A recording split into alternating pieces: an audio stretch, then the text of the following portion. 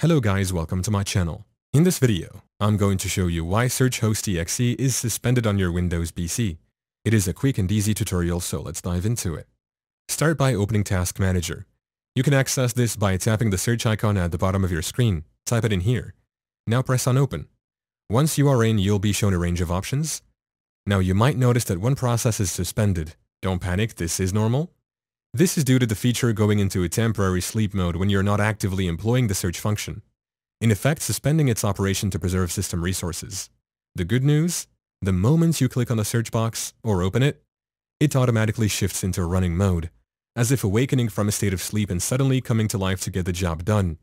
There is simply no fear of running into the suspended status. It's neither an error nor a glitch. This is exactly the way your system relaxes when it's not being used.